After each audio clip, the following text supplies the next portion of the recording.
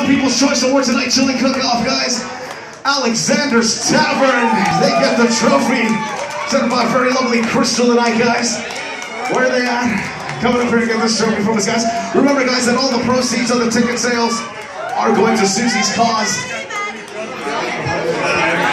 We've got first place getting $250, second place getting $200, third place gets $150, fourth place $100, and fifth place $100, guys. All going to the charity of their choice. Once again, we want to thank y'all for coming out, supporting this benefit tonight, guys. Hope you guys enjoy some good chili.